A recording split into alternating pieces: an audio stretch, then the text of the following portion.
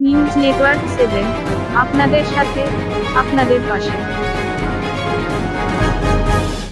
কাটোয়া শহর মহিলা তৃণমূল কংগ্রেসের পক্ষ থেকে পূর্ব বর্ধমান জেলার তৃণমূল কংগ্রেসের জেলা সভাপতি রবীন্দ্রনাথ চ্যাটার্জি ও মহিলা তৃণমূল কংগ্রেসের জেলা সভাপতি চন্দনা মাঝিকে সম্বর্ধনা জ্ঞাপন করা হয়।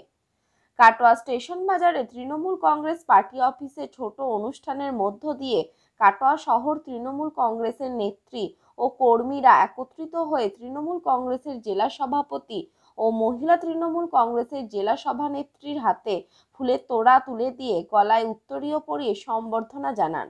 সম্বর্ধনা অনুষ্ঠানে আগামী পৌর নির্বাচনের জন্য মহিলা তৃণমূল কংগ্রেসের কর্মীদের উদ্বুদ্ধ করতে তৃণমূল কংগ্রেসের জেলা সভাপতি রবীন্দ্রনাথ চ্যাটার্জি বলেন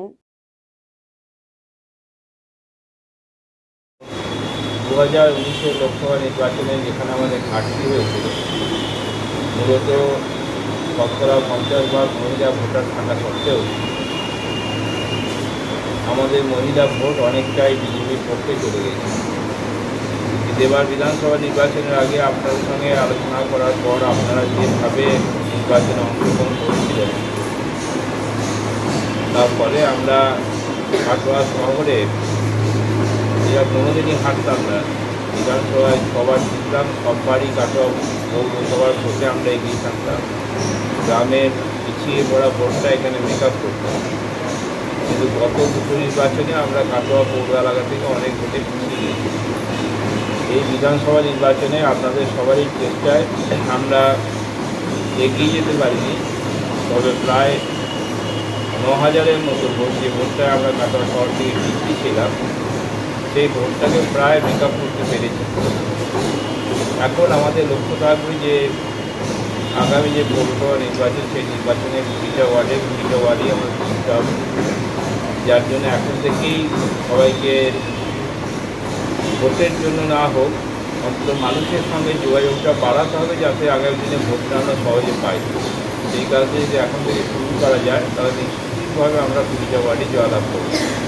এবং এই ব্যাপারে মহিলাদের গুরুত্ব অপরিসীম, কারণ আপনাদের পক্ষেই সম্ভব বাড়ির মধ্যে সহজে ঢুকে যাওয়া এবং বাড়ির মহিলাদের বোঝানো আপনারা দেখেছেন, এই কথা আমি নির্বাচনের আগে বারে বারে বলেছিলাম যে আমাদের রাজ্যের মাননীয় মুখ্যমন্ত্রী যে প্রকল্পগুলো ঘোষণা করেছেন, তার বেশিরভাগ মহিলাদের জন্য। আমি প্রথম থেকেই বলেছিলাম যে এই যে কন্যাশ্রী প্রকল্প, এই প্রকল্প শুধুমাত্র একটা মেয়েকে কিছু টাকা পাইয়ে দেওয়া নয়, কন্যাশ্রী প্রকল্পের মূল উদ্দেশ্য ছিল যে আমাদের পুরুষতান্ত্রিক সমাজ ব্যবস্থায় বাড়িতে যদি একটা ছেলে আর একটা মেয়ে হতো, আমরা ছেলের লেখাপড়ার জন্য জোর দিতাম। আর্থিক দুরবস্থার কারণে মেয়ের পড়াশোনার ব্যাপারটা ভাবতাম না। বহু মেয়ে এই কারণে পয়সার অভাবে মাঝপথে লেখাপড়া ছেড়ে দিতে বাধ্য হতো। মাননীয় মুখ্যমন্ত্রী সেদিকে লক্ষ্য রেখে যাতে আমাদের মেয়েরা পড়াশোনার ক্ষেত্রে পিছিয়ে না পড়ে, সেই লক্ষ্যেই কন্যাশ্রী প্রকল্প করেছে এবং আপনারা দেখছেন ধাপে ধাপে।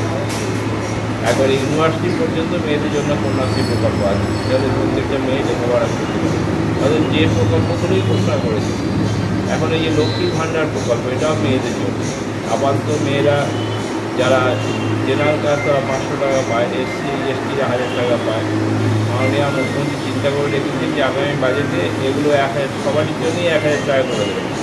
অর্থাৎ মেয়েরা বাড়ির মহিলারা তাদের যেহেতু কোনো নিজস্ব রোজগার থাকতো না, তাই বাধ্য হয়ে তারা হয়তো স্বামী অথবা ছেলের কাছে হাত খরচার টাকাটা চাইতে বাধ্য হতো। সেই জায়গাটাও যাতে না করতে হয়, তারা যাতে অন্তত সেই জায়গায় কিছু স্বাধীনতা পায়, সেই লক্ষ্যেই তিনি এই প্রকল্প করেছেন। যে প্রকল্পগুলো করছেন, তার সঙ্গে মহিলাদের যাতে স্বার্থ যুক্ত থাকে, মহিলারা যাতে নিজের স্বাবলম্বী হয়, সেই ব্যাপারেই তিনি সবসময় সচেষ্ট আছেন সভাপতি, আপনাদের কিন্তু এটা পেলেই হবে না। দুয়ারে সরকার প্রকল্পে আপনাদের উপস্থিতি, আপনাদের সাহায্য সবাই দেখেছে। কিন্তু সেটাকে বাড়ি বাড়ি গিয়েও সেই প্রচারটা আপনাদের রাখতে হবে।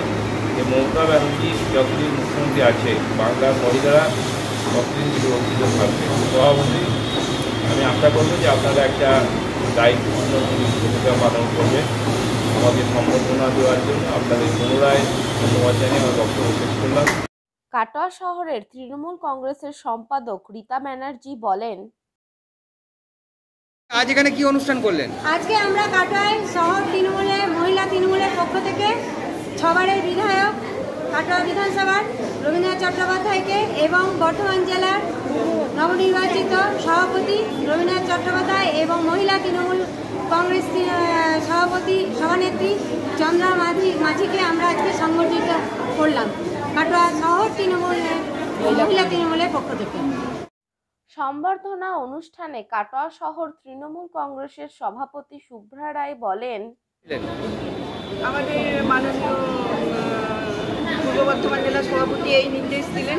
আগামী দিনে আমরা যেন প্রত্যেকটি মানুষের কাছে মাননীয় মুখ্যমন্ত্রী মমতা বন্দ্যোপাধ্যায়ের যে উন্নয়ন, সেই উন্নয়ন যেন প্রত্যেকের দরে দৌড়ে দৌড়ে আমরা পৌঁছে দিতে পারি। পৌঁছে দেওয়ার জন্য তিনি আমাদের কাছে আবেদন রাখেন। এই সম্বর্ধনা অনুষ্ঠানে উপস্থিত ছিলেন তৃণমূল কংগ্রেসের পূর্ব বর্ধমান জেলার জেলা সভাপতি রবীন্দ্রনাথ চ্যাটার্জি, মহিলা তৃণমূল কংগ্রেসের জেলা সভানেত্রী চন্দনা মাঝি, কাটোয়া শহর তৃণমূল কংগ্রেসের সভাপতি শুভ্রা রায় কাটোয়া শহর তৃণমূল কংগ্রেসের সম্পাদক রীতা ব্যানার্জি সহ অন্যান্য নেতৃবৃন্দ ও কর্মীরা। Bureau report news network seven.